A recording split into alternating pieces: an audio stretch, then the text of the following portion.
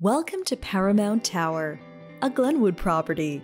This is a one bedroom, one bathroom home, 52K, located in Midtown East in Manhattan.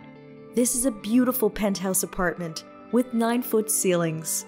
This huge living room has four big bay windows which face west, providing you with an incredible view of the Empire State Building and the city. You can also see the Chrysler Building. The pass through granite kitchen has sleek stainless steel appliances. There's space above due to the high ceiling. There's track lighting in this home. This home has five custom closets, providing you with exceptional storage space.